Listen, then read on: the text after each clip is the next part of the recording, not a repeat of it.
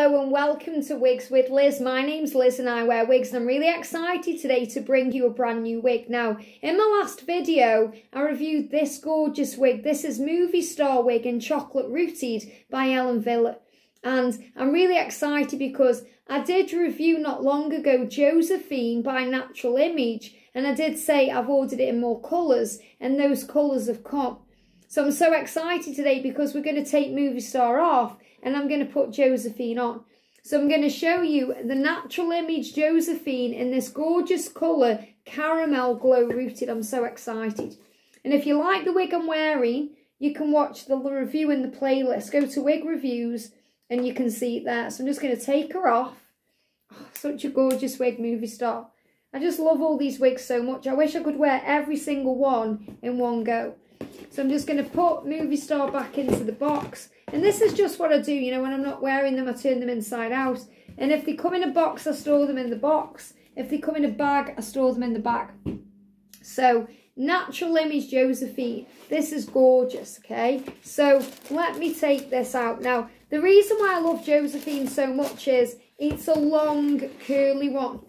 A long, curly one. It's got a lot of body. It's a machine teased wig. It's got a lot of length and curl and definition and colour and it's just gorgeous. So this is Caramel Glow Rooted. So again, it's a rooted colour, which means it's got the roots, you know, where it looks natural. So, you know, if your hair pulls back in the, the wind or anything like that, it looks very natural. And you've got the rooting, the darker rooting all the way through the wig, but it's got the gorgeous colour that it intends to be. So before I show you the colour, I'm going to show you the inside of the cap. So I have already reviewed Josephine and you'll love her, okay? So I know you're going to love this one. So you can see it's an average size cap here. Looks a lot smaller when I'm picking her up than the um, movie star wig I've just done in the Ellen Wille. So I do feel the Ellen Wille wigs come a little bit on the smaller size. But, you know, if you've got an average size cap, it'll just feel a little bit snug. It'll feel nice to you. You know, this is an average cap on Josephine. So if I go to the back of the wig, you've got all these breathable wefting. You've got the label, so you know how to put it on. And you've also got the Velcro adapters to make it looser or tighter to suit your head. At the front of the wig, it is a machine teased wig, so it's got height, but it's also got breathable wefting all throughout the front. And there is a, you know, this place here where you can sew your clips in. So I've sewn two in the front and one at the back. I probably don't need three in this wig, but I've done it for security because I know I'm going to be wearing it a lot. And I'm excited to wear this wig. So let me show you the colour. Look at this. Absolutely gorgeous colour. Now, you can see the rooting is, is there, you know. I mean, I love these rooted wigs because for me, being a natural, you know, brunette, they're very natural on me. And I love wearing the rooted with the blondes because then it looks you know, it looks right. It makes sense to my head. It creates the illusion of it being my own hair. And this is a gorgeous kind of, it's like a caramel blondie brown. You know, it's got a little bit of strawberry red through it as well. It's a really pretty colour. And I love how it goes a bit darker as we get to the bottom as well. Look at all the wave on it. It is a very long wig. It's beautiful. I love this wig. I love it. And you know, you've got all this gorgeous colour definition through the face. So let's get her on so I can show you properly. So I'm just going to unclip the two wig clips and I've sewn them in. But, you know, you prep your hair however it works for you. Mine's growing back right now. So I just get it all back as much as I can to go in my wig. I don't really have to worry about my little, you know, like these flyaway bits here because it's a longer wig. But if I was wearing a really short wig, I would just put a baby ponytail in there now just to you know, get rid of the hair. I could cut that off if I wanted to, but I want my hair to grow and I'm documenting it anyway. So, you know, all this year I'm going to be leaving it to grow and see what it does. So let's put her on. So when you're putting on any wig, you get your thumbs where the label is or at the back of the wig. You put the front of the wig about there, even the ear tabs, which are very comfortable on these wigs, all the high-end wigs are, and then pull it up to your hairline. So I've only found from my own personal experience that the wigs hurt me, the ear tabs hurt me on the Amazon wigs. Any high-end wig, I find any wig that's over a £100 or a $100, I suppose, in, in US, it fits good and it doesn't hurt and you don't have to cut bits out. It's only the cheaper wigs because I suppose one size fits all with the cheaper wigs. They have to make them in such a way where it's going to fit a larger head as well as an average or a petite head. And I think that's what they do, and I think they go wrong with that. You know, if they actually made the effort to make different styles of caps, they may make more money. Who knows? Who knows? So, yeah, let me know what you think in the comment section. But let's put Josephine on then. So I'm just tucking in the back, I'm evening the ear tabs, flicking it up. So you can see it's a machine teased wig. You can see as well she automatically is parting. So, you know, she wants to part in her own place.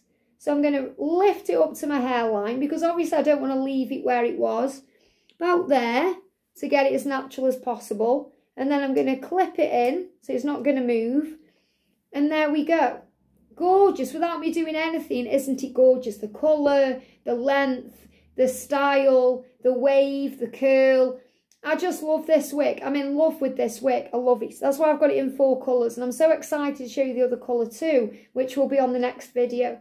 But look at this. Absolutely gorgeous. I mean, you can see you've got all these kind of, it's like a blonde caramel. So it's called Caramel Glow. So it's got those caramels too, but it's got blondes through, hint of red. Just really, really pretty. It's got a little bit of dark brown in it as well through the, you know, the ends. Very, very pretty wig. Gorgeous. And I love this darker root here. You know, just use your hands to kind of break it up a little bit because, you know, when you get it, it's been travelling and it may be a bit flat on top. Just use your fingers to, you know, give it a little bit of oomph. You can part it wherever you want to, you know, because, you, you know, you can kind of mess around with it. But I'm going to leave it where it is because I like it parted where it is.